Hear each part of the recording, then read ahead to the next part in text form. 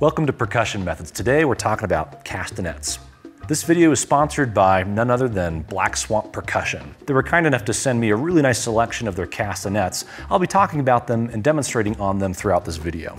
There's a good chance that the castanets at your school are machine castanets like these that are mounted to some kind of base and have tensioners on them. Playing these is fairly simple. Set them down on a sturdy surface, and then using German grip, you're gonna tap on them with your fingers like this. Playing machine castanets on a table is just fine, but if you've got other things on that table, they might rattle and make noise, and there's a good chance that your audience isn't going to be able to see the performing. An option I prefer for castanet machines is to mount it to a standard cymbal stand, kind of like this one. All of Black Swamp's castanet machines, including this Overture line of instrument, can be mounted to a standard cymbal stand.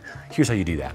Your castanet machine should come with a wing nut that you're gonna put on the stand first and thread it upside down until it's about at the bottom of the threads. Then take your castanet machine and carefully put it on the stand and give it a few turns to get it threaded a little bit on the stand. You don't want to keep turning this until it hits the very bottom because it's not going to be good for the base of the castanet machine.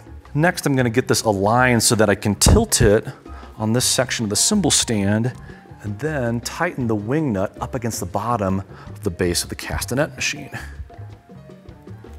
With it aligned like this, I can loosen this part of the stand and tilt it forward to make it a little bit easier to play. With the castanet machine set up at a comfortable angle and playing height, you can just play with German grip like this.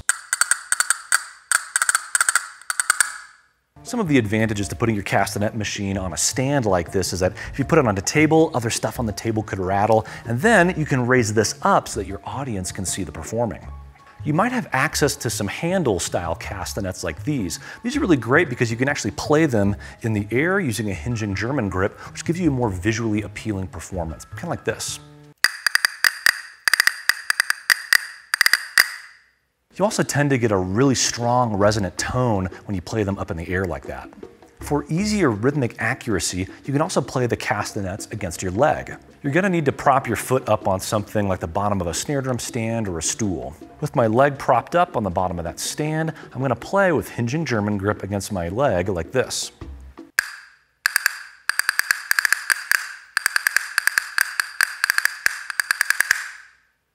On just about all models of handle style castanets and machine style castanets, you're gonna have tension adjustment.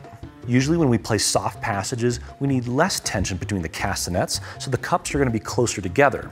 For loud passages, we're going to increase the castanet tension so that the cups get farther apart. On these machines, there are knobs on top of both the castanets. Just turn that to the right and you see they open up more to add tension for loud playing. That way, they don't accidentally strike one another. For soft playing, we want to decrease that distance and make them easier to strike against one another for that sensitive dynamic.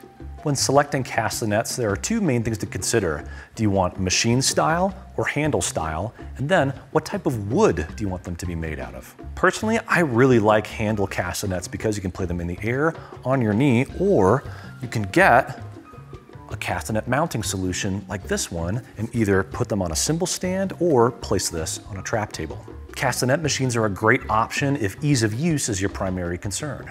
Castanet machines can also come in handy if you need to play this instrument and then scurry to another one really quickly and you don't have time to set down some handle mounted castanets.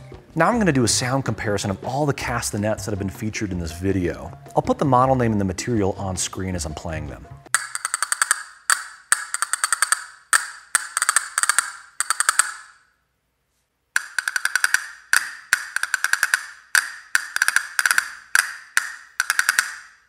These are the Pro Castanets in Purple Heart, and you'll notice they give you a little bit of a warmer, darker tone. Very pretty.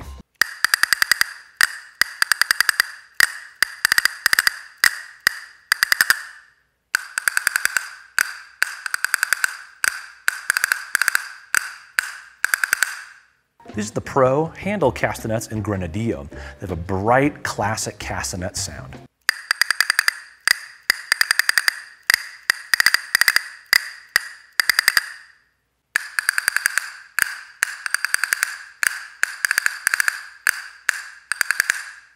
One of the really cool features about these Black Swamp castanet machines is that you can remove these and put on different cups and mix and match woods to get the tone you want. If you need to play a roll on castanets, you're going to use that hinging German grip and play a single stroke roll. On a castanet machine, it looks like this. With handle castanets, I recommend playing that roll against your leg like this. Another cool way to play a castanet roll is using a redoble technique. Black Swamp has a demonstration video on that. I'll put a link to that and some other Black Swamp castanet videos in the description. As always, we put our small percussion instruments and implements on a soft top trap table or a music stand with a black towel like this one. That way you don't get any extraneous noise as you pick them up and put them down. When you're transporting these instruments, you can get a soft castanet bag, or you can take these and wrap them in a black towel, then put that in a larger bag for transport.